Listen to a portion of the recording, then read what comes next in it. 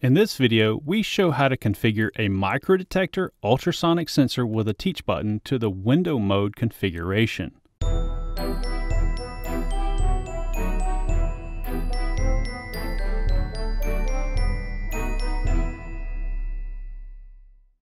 We're using one of our UK series of sensors in this video.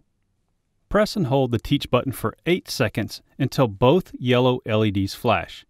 Then release the button. Now press the button to select window mode, meaning the right yellow LED will be on. We can cycle through each of the three modes. Right LED on is window mode, both LEDs on is two point mode, and left LED on is single point mode. Once you've selected the mode, the LEDs will blink at a slow rate, then they will stop blinking and all LEDs will be on. We selected right yellow LED, which is window mode.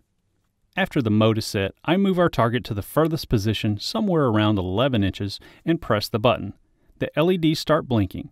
Now move the target to a close position around 4 inches and press the button again. The yellow LEDs will blink at a faster rate and then will stop blinking. The sensor has now been programmed.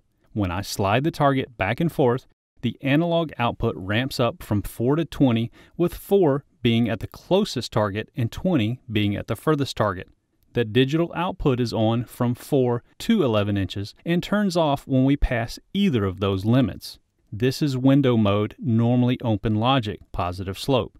Now we can reverse the settings by moving our target at the closest position, around 5 inches, and press the teach button, and the yellow LEDs will blink slow. Now I move the target to the furthest position, around 10 inches, and press the button again. Now the yellow LEDs blink at a faster rate and then stop blinking. The sensor has now been programmed. As you see, when I slide the target back and forth, the analog output ramps down from 20 to 4, with 20 being at the closest target and 4 being at the furthest target. The digital output is off from 5 to 10 inches and turns on when we pass either of those limits. This is window mode, normally closed logic, negative slope.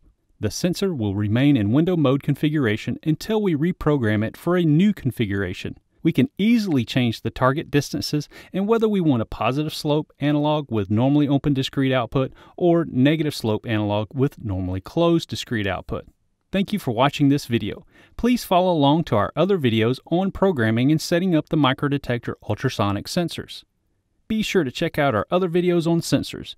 If you have any questions, please feel free to contact our award-winning technical support team during regular business hours. They'll be happy to help. Click on this video to learn more about Automation Direct support options and click here to learn more or see more videos on sensor products. Be sure to click here to subscribe to our YouTube channel to be notified of new videos. Don't forget to hit the like button below.